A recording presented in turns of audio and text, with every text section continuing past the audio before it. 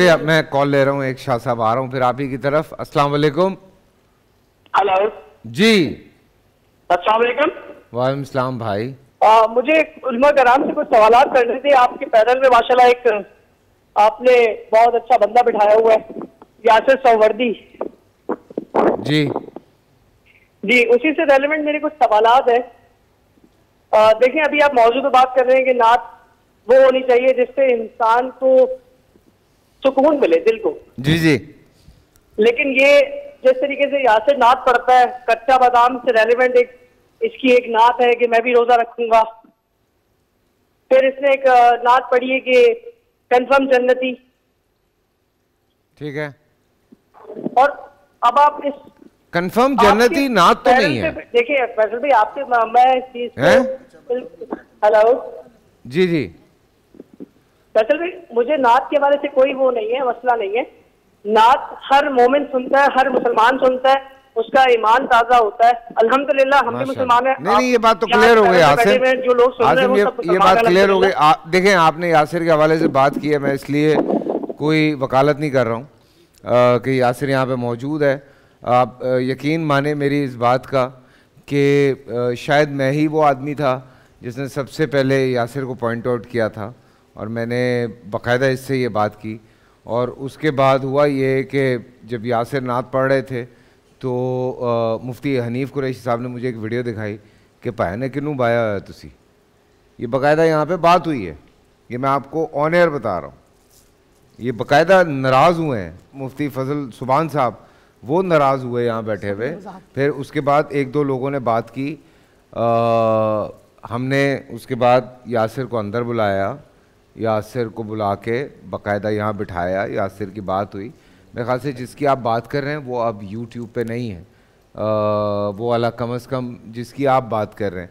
और ज़रा यासिर भाई जवाब दीजिए मैं आपकी वकालत कर रहा हूँ। जी बिस्मिल्लाहिर्रहमानिर्रहीम।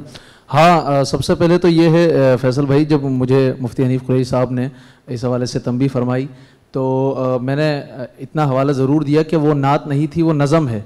और फिर मैंने उलमाए कराम के कहने के बाद ही, हालाँकि वो ट्रेंडिंग पर था 29 नाइन ट्रेंडिंग पर था, उस पर रहते हुए मैंने उसको डिलीट करवाया। और कंफर्म जन्नती और रोज़ा रखो के हवाले से भी जो बात की इन्होंने तो वो नज़में हैं।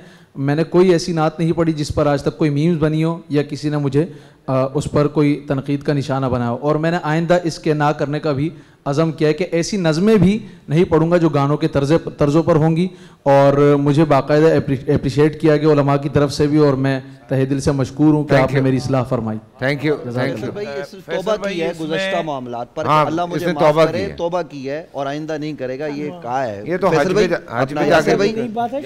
अल्लाह की बारगाह में तौबा की और मैं ये कर रहा था तौबा तौबा अल्हम्दुलिल्लाह कोई भी नात आज तक जो है ऐसी नहीं पड़ी जो गाने के तर्ज पर हो। जो नज़में लोगों ने कहा कि इस पर जो गानों के तर्ज पर एक नज़म रिसेंटली हुई तो उस पर भी मैंने अल्लाह से तोबा इस्तगफार की है और मैंने लोगों के सामने भी उसकी जो है माजरत की।